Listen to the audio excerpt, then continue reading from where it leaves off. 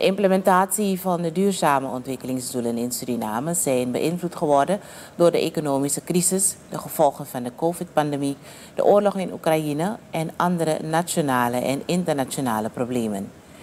Dit haalde president Chandrika Persat Santokhi vandaag aan tijdens zijn toespraak bij de SDG Summit 2023 van de Verenigde Naties die gehouden wordt in New York. De president benadrukte dat de beperkte financiële en technische middelen uit noodzaak aan veel urgente zaken moesten worden toegekend, enkel om ervoor te zorgen dat niemand achterbleef. At the national level, this crisis have also had a negative impact on the resilience of our people. To chair, at the global level, we have seen also that many countries with many people were left behind. These crises have demonstrated that we still live in an unequal world. And in this regard, Suriname has made efforts to integrally mainstream the SDGs in its national policies and planning frameworks. For this reason, Suriname has established a national SDG commission and an SDG platform with participation of all stakeholders.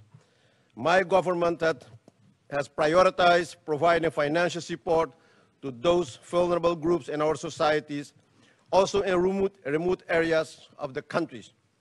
In this context of leaving no one behind, our parliament is working on a revised civil code which will focus on the importance of gender equality and equity.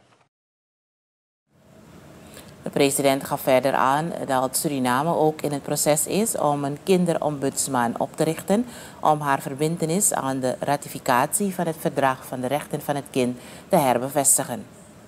Ook zegt Santoki dat zijn overheid samen met de UNDP een project is gestart om gratis wifi te brengen naar elke school in Suriname.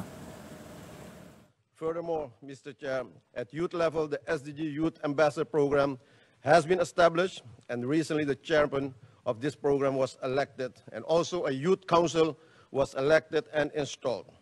We express our appreciation to the United Nations for the financial support of the SDG-funded Agri-Food System Transformation Accelerator Program to support the Pineapple Project, which will not only be good source for vitamin and food security, but also create jobs and income for especially women in specific rural areas.